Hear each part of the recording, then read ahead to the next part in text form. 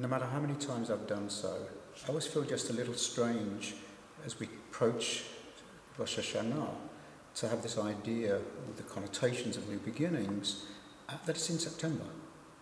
Um, it doesn't seem right somehow. And yet, for my family, this year really is a time of new beginnings. My sister has just made Aliyah. My elder granddaughter is just moving into secondary school. And I've just retired as a pulpit rabbi. I imagine you're saying, well, what's that got to do with new beginnings? Well, it's because I don't believe in endings. For me, everything is a new beginning, it's a new time, a new challenge, a new phase in my life. And actually, Rosh Hashanah is that, or can be, for all of us. We can all look to see what we want out of life, or, or perhaps better, what can we actually do with our lives? What can we make of them? We can learn lots about new beginnings from our tradition.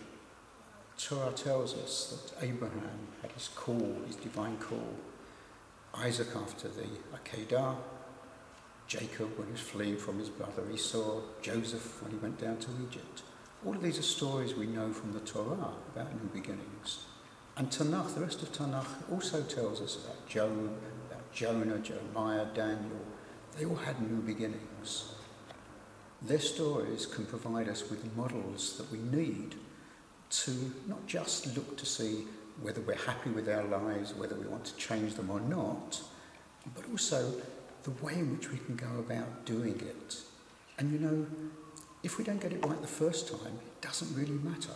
The rabbis tell us that there's an anagram of the word Bereshit, which means in the beginning.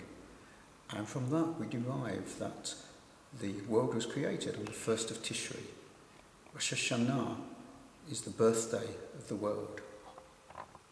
And so it's very appropriate as individuals that we use Rosh Hashanah as a new opportunity, a new challenge, a new beginning.